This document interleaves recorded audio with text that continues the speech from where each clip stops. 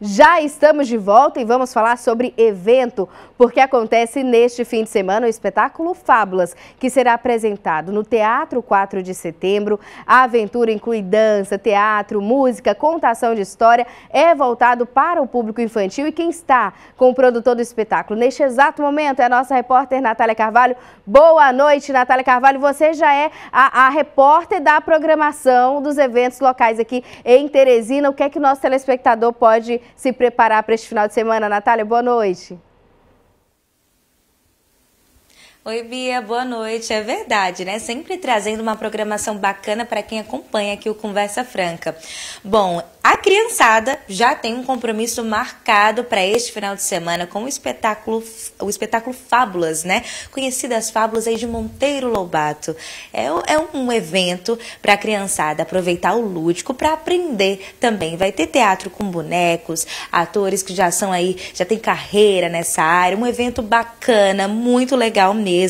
É, computação de histórias, vai ter dança, é uma aventura. A gente sabe que a criançada adora. Por isso, como você disse, convidamos o Vitorino Rodrigues, ator, e mais que está produzindo aqui o espetáculo, né? O Fábulas, como você acompanha aí, olha só a animação do pessoal na TV, o Vitorino.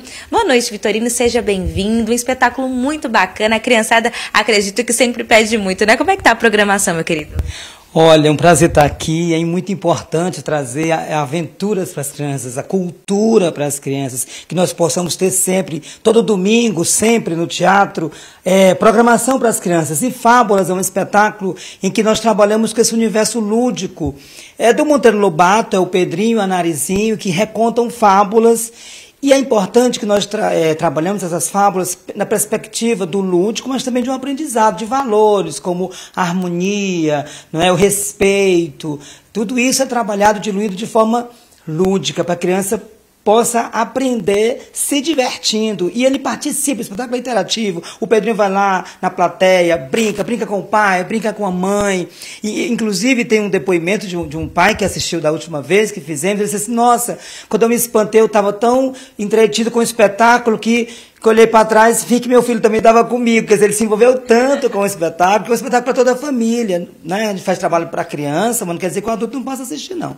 Então, domingo, 17 horas, dia 5 de maio, você tem um compromisso com o seu filho, não é? com a, a, o lúdico, com o universo do espetáculo Fábulas e nós vamos ter o maior prazer em receber você e nos divertirmos juntos. Chama o coleguinha da escola. É bom quando há brincadeira, né? Com todo mundo. Não fica mais gostoso? Claro que fica. Então chama todo mundo. Vamos colar no Teatro 4 de Setembro, 5 da tarde, domingo 5 de maio, hein? Ó, tô te esperando.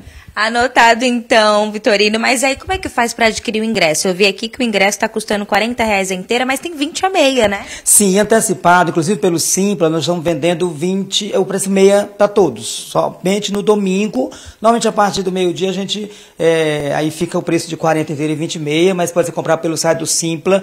Vocês podem também nos procurar pelo, pelo WhatsApp né? 8699173647, ou pelo Instagram, o Instagram do espetáculo, espetáculo underline fábulas, ou Vitorino Rodrigues, ou VR Produções, você vai nos encontrar, não vai ter desculpa, eu tenho certeza. Então nos procura. A gente, ó, tem uma lista amiga que tem um preço mais especial ainda pelo Pix. Chama a gente que a gente conversa sobre isso, hein? Perfeito, Vitorino, muito obrigada. Então o recado tá dado para você, criançada, chama o pai, chama mãe, que esse final de semana tem esse compromisso lá no Teatro 4 de Setembro. Volto com você no estúdio. Bia, leva o Vicente, viu? Natália, levo-se. Inclusive, eu tenho uma pergunta. Você me escuta? Pergunta se criança de 32 anos pode assistir espetáculo, Natália? A Bia quer saber se crianças de 32 anos podem assistir o espetáculo. Meu Deus, mas é tão bem. Não estou dizendo que o pai se encantou. 32, 60. Chama o vovô, a vovó, a menina, a família toda. Não estou dizendo, Bia, vai. Vai com teu filhinho, tua filhinha, enfim. Chama os amiguinhos, todo mundo. Tá aí, Bia. Maravilha, obrigada, Natália. Agradeço também ao produtor do evento.